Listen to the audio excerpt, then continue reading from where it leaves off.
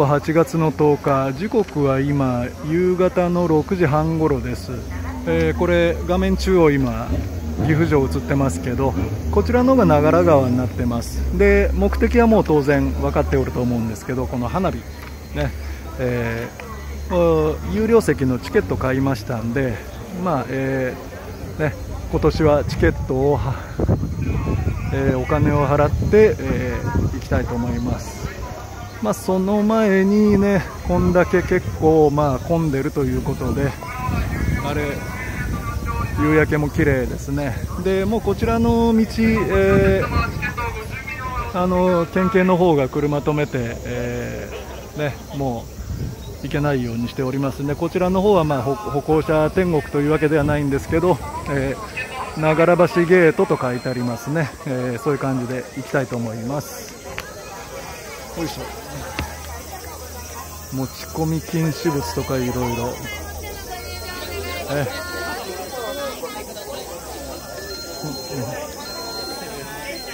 いいですかね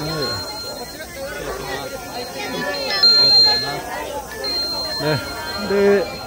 バーコード読み取りでもうあの入れましたんであとはもう、えー、どこでもいいんですけど、えー、せっかくなんでこれ公式ガイドを一つね、えー、大型課内の催事場となりますのでご了承くださいチケットをお持ちの方にお知らせします、でこちらの方が出てしまいますとこのゲートから再入場をすることはできません。ここから一旦外へ出てしまいますと、都ホテルかなり遠い場所からへの再入場となりますのでご了承ください。まあねあのー、高い席は売り切れだったんでね、まあ、安いここから一旦外へ出てしまいますと都ホテルかなり遠い場所からへの退避場となりますのでえー、でこちらの方が、まあ、岐阜城になっております。でこのゲートの方から出てしまうと、えー、かなり遠いところからの、えー、再入場となってしまうということなんで、えー、私もね出ないようにしたいと思います。でこれ花火の方は自由席のは画面右側なんですけど、えー、ねまあ、こちらの方撮影ということで、ね、こちら長良川の上流になります。であそこ、えー、報道のヘリコプターが通っております。で迂回船岐阜城。ねまあ、この辺りで迂回をやっております。でこれが長良橋。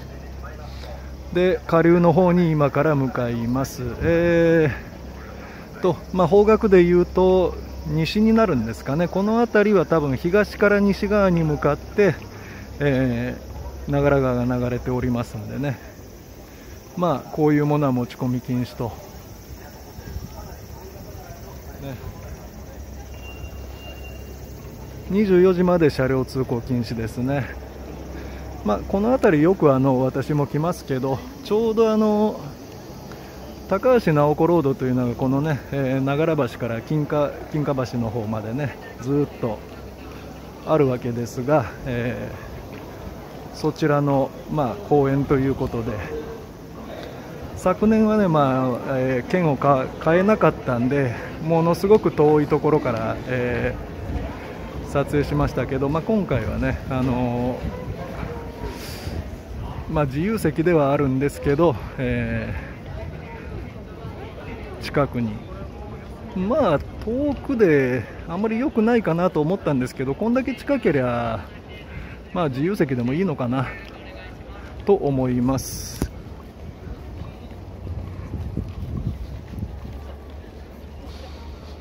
ね、まあ今のこの時間帯でこんだけということは、まあ割と自由席の方でも隙間があるんかなと。もう前回来た時はもう、あのー、奥にもございます。奥の入場口もご利用ください。ね、入場口奥にもございます。奥の入場口もご利用ください。たくさんというか、えー大体あの長良川の花火なんて一番混むのでねあのキムタクが来た時よりも私の体感では長良川花火の方が混んでるんですけどまあねあの、こうやってチケット制にすれば、ね、近くで見たい人は見れるし見れない人は、ね、遠くで見ればよろしいということです。ん？あリスリストバンドかチケットをちょっと用意しなきゃいけないですね。えー、リストバンドを着用しろということで、まあ、こちら、えー、着用しましたで黄色が自由席、えー、青が、えなんだ指定席かということでこちらの方